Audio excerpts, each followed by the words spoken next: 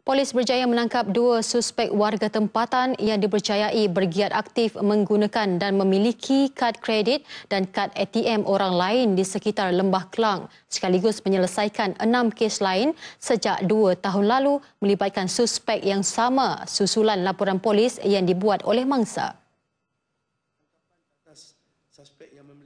Ketua Jabatan Siasatan Jenayah Komersial Kuala Lumpur, SCP Izani Abdul Ghani berkata, kedua-dua suspek ditahan hasil serbuan polis ke rumah mereka di Bandar Baru Kelang, Selangor.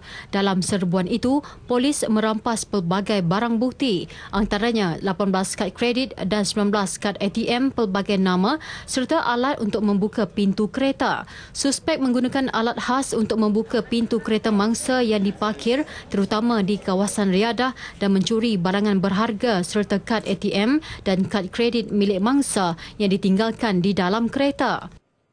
Pihak polis ingin menasihatkan orang ramai supaya tidak meninggalkan barang-barang berharga serta kad kredit dan kad ATM milik mereka di dalam kereta semasa berkunjung ke tempat atau kawasan riadah. Mereka yang pernah menjadi mangsa di atas kegiatan suspek juga diminta untuk tampil membuat laporan polis bagi membantu siasatan kerana kita ada buat rasa banyak kad kredit ya, dan kad debit di situ. Sekiranya mengalami kehilangan kad kredit atau kad ATM, orang ramai dikenakan segera melaporkan kepada bank yang berkenaan agar penggunaan kad tersebut dapat disekat oleh pihak bank.